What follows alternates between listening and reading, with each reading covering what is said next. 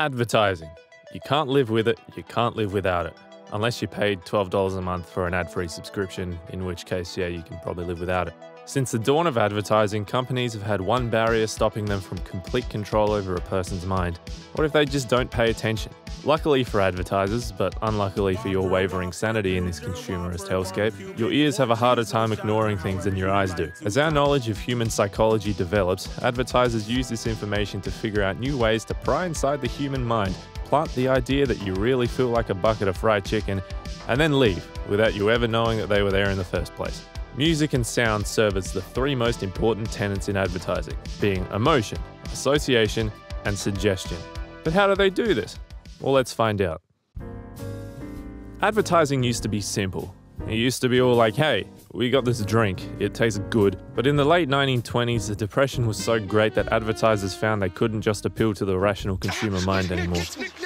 The landscape of American capitalism was changing. President Herbert Hoover made an effort to outline the importance of having a population that consumes. The following decades mark a slow and arduous transitional period for advertising. Ads shifted from being a pitch about the ways in which a product won't give you, but probably will, but might not give you diabetes, to an experience, something that lingers in your mind whether you knew it or not, something that triggers a deep emotional response. Man, if only we had a universal tool that's pretty much an instant gateway into the emotional centers of the human brain. Oh, wait, we do, and it's called music. You've probably heard of it. By this point, it was no secret. Psychologists had been studying for decades trying to figure out music and its effect on human emotions and decision making. So, advertisers, being the remora fish that they are, gained as much benefit from these developments as possible. From this, more advertisers began to see untapped potential in using music and sound to market their products. For those who think young. Let's fast forward a few decades, and nearing the end of the century, advertisers had this down pat. Marketing firms sought help of music libraries that curated music based on its mood. Tables like this helped in categorizing music for advertisers who didn't really understand music theory. I mean, it makes sense. You can't expect a marketing major to walk into your firm saying, I need a track written in 4 4 with a 2 5 1 chord progression with the bass jumping between the root and the fifth, evoking bossa nova undertones, all the while the melody is played vertically over each chord, alternating slightly from Ionian to Mixolydian tonalities on the fifth and root respectively, with a melodic bebop swing on the minor second chord. Dude, that made literally no sense. Oh, okay. Uh, I guess I just need a uh, playful song, throw in a bit of a summery mood, uh, oh, and a dash of sexual. Case study time. Bonjour Jeans, a clothing company that mainly sold, well, jeans, obviously. In the early 80s, they were undergoing a bit of a branding transition. They wanted to abandon their previously workwear centric identity and adopt a newer, sexier image. The advertising mogul in charge of their rebrand, Bill Backer, stated, Blue jeans should be fun to wear so a commercial for blue jeans should be fun to watch. Makes sense. Around this time, they were running this ad. Bonjour action jeans with a sleek, elegant body style. She loves the way Bonjour hugs the corners and handles the curve. Built to move. And built to look like they're moving even when idle. Bonjour action jeans. Beautiful. I mean, it's fine, but if you ask me, there's too many words. This isn't the old days of radio anymore. You don't need to explain to a consumer why the product is good. You gotta make them feel something. So they changed it. The main difference being they added this absolute banger of a song. Forecast is bonjour.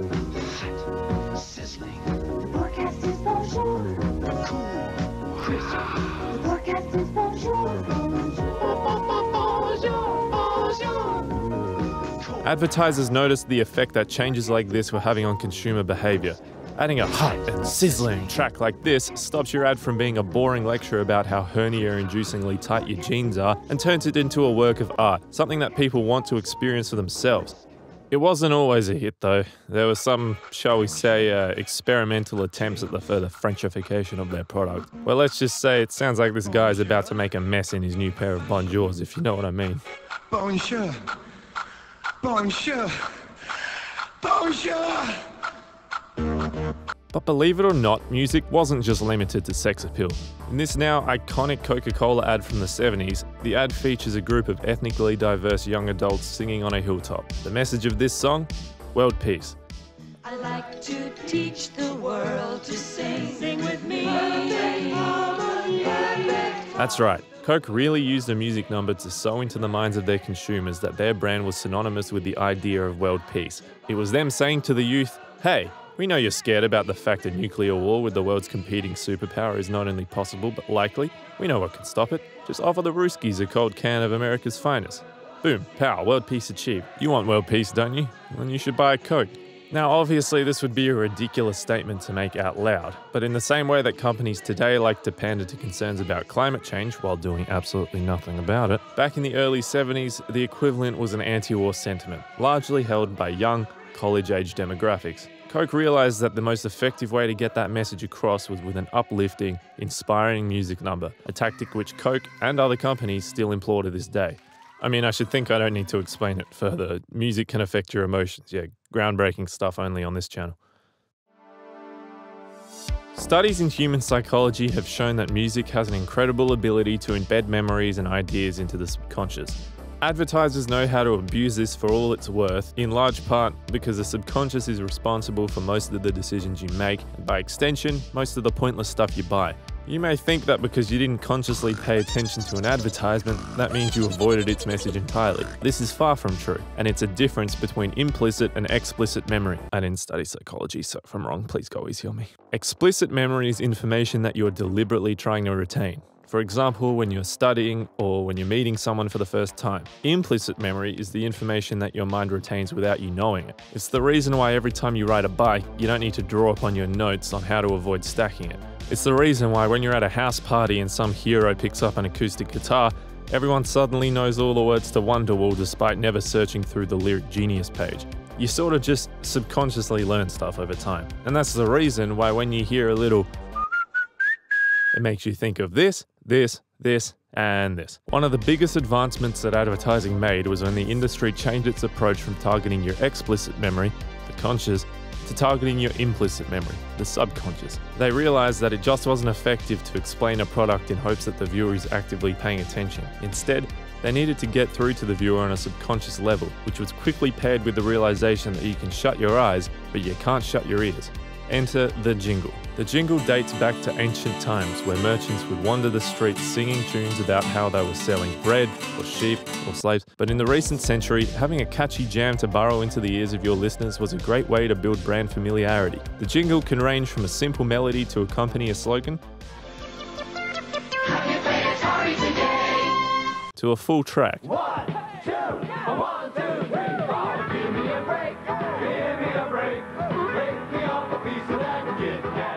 Jingles prey on the hope that they get stuck in your ear. It's a sequence of notes that a brand wants to have ringing in your brain until you just can't take it anymore and you go buy a Toyota.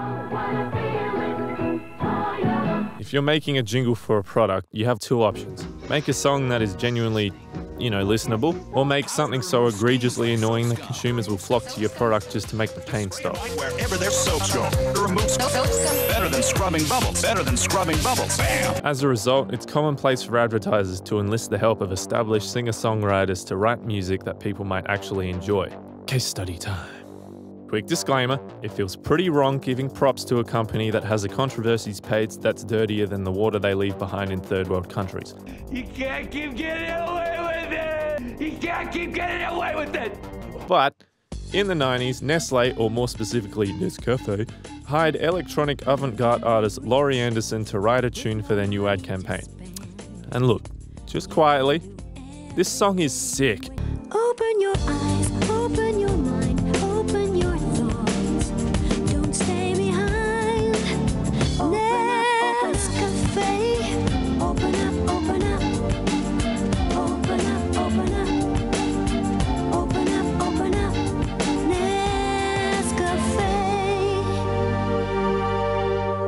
come on. Okay, the lyrics mean nothing, but the synthesizers are dope and the melody is catchy without being annoying.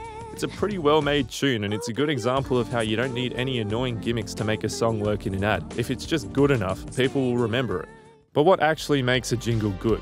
Well, if you ask me, nothing. Most of them are pretty annoying. But if I was pretending to be a marketing professor, I'd say it comes down to two things repetition and adaptability. Repetition is important. I say if you're going to make a jingle, go all the way with it. Have that thing in every advertisement possible. Bombard the masses with it on radio, on TV, on really average YouTube videos. That way, it's being constantly fed into the ears of consumers, and that's where the second most important part comes in. It needs to be adaptable. The McDonald's jingle, for example, does this pretty well. Obviously, they have thousands of different ads for their range of life shortening products, and the theme of each of these ads changes between marketing campaigns. So, if you want the jingle to fit each of these themes, it must be able to adapt. Here's some examples of how they kept the same melody but adapted it between different themes. Dance.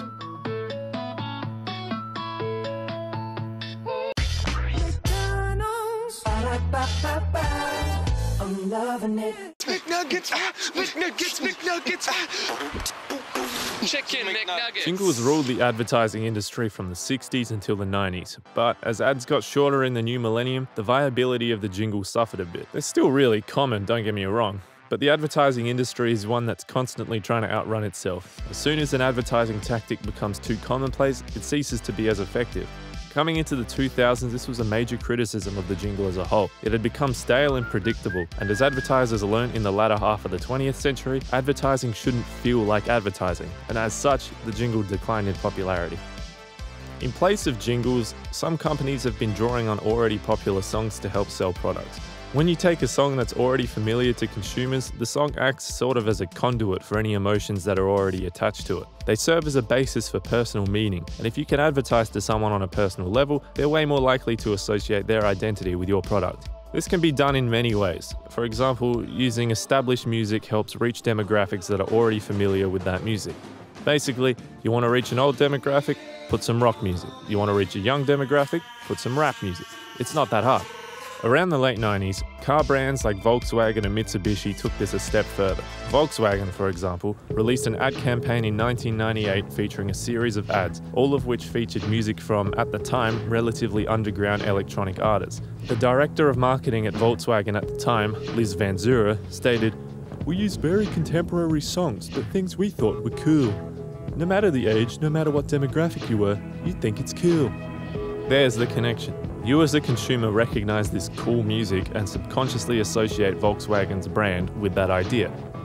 Mitsubishi were undergoing a similar change at the time. They had a younger demographic compared to most other car manufacturers. The idea from Mitsubishi around this era was summed up by the president of the company at the time. We realized that Generation Y would be reaching driving age soon. We knew if we were going to grow, we needed to reach them. We had this very simple idea. Let's make the Mitsubishi owners into a cool club. If they were all singing a Britney Spears song, the specialness of driving a Mitsubishi would have gone away. And so, they went with a song titled Start the Commotion by British techno band The Wise Guys.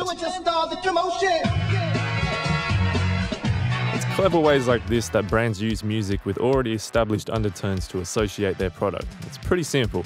Associate yourself with cool music, and people will think you're cool. I mean, it's basically the same tactic that dudes on Tinder have been using for years.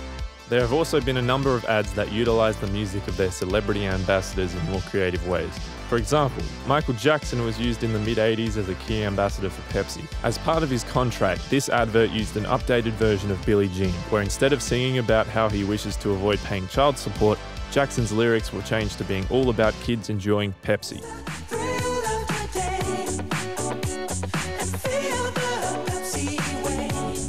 That Coke ad I mentioned before actually did this too. The original song being by a British pop group named the New Seekers, with the lyrics changed to be all about how Coke will single handedly end all the wars forever. What these sorts of ads started though was an ongoing trend wherein artists would parody their own music in an ad, changing the lyrics to be about the product.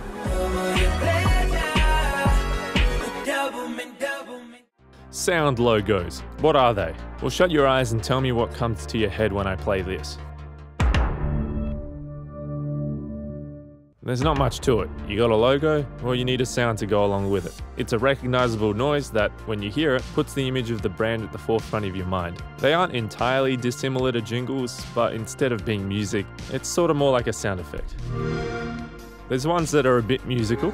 Yeah, not bad, something to get stuck in your head. There's ones that represent an action associated with the product. And there's ones that sound like the literal gates of heaven opening up and blessing us with their. Oh my god, take.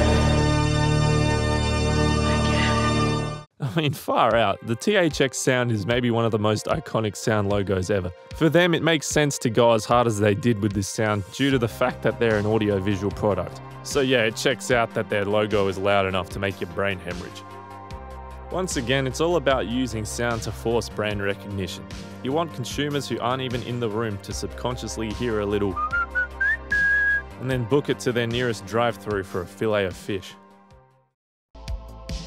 Suggestion is an important part of advertising. At the end of the day, every ad is trying to convince you to do something. Sometimes you even have a part of an ad that's distinctively telling the viewer to do something. In advertising, this is sometimes referred to as a call to action. It's when an ad features some kind of directive to the viewer, something telling them to go spend their hard earned money on something they don't need. And music, believe it or not, can help persuade people into utilizing a call to action.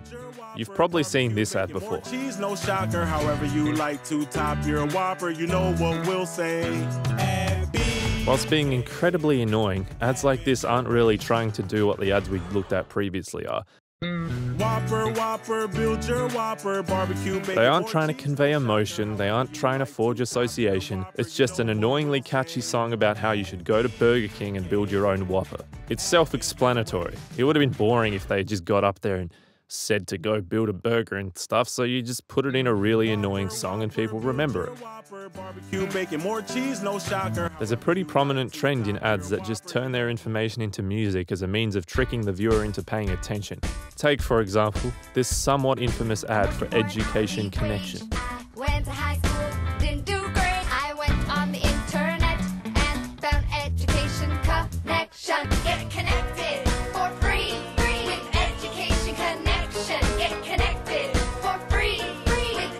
Mean, who the hell thought this was possible? You're not even singing at this point, you're just awkwardly stringing words together over music. Why?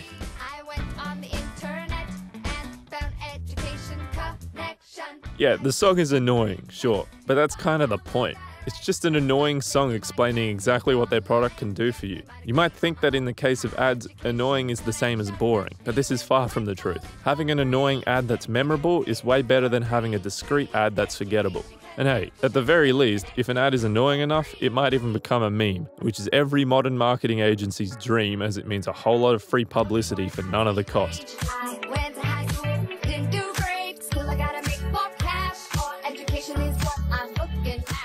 Good example of this is that godforsaken Grubhub ad. No, no, no, no, no, no, no. Wait, wait, wait, wait. Wait, wait, wait, wait, wait. This song got memed to the high heavens when it came out. So much so that someone like me, who doesn't even live in the country where this product is available, can't help but hear that god awful flute at all hours of the night. Here's Johnny. Another common way that brands use music as a tool for suggestion is by sort of jinglifying their phone number.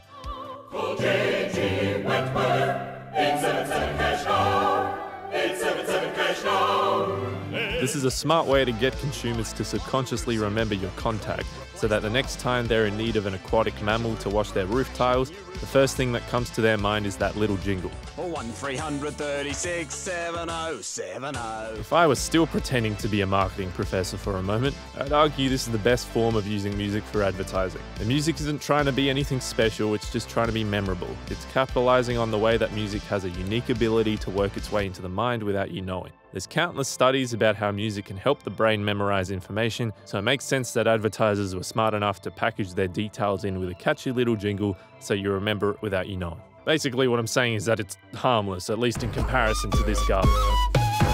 You could argue that all the ads I've shown in this video use music as a tool to suggest a call to action.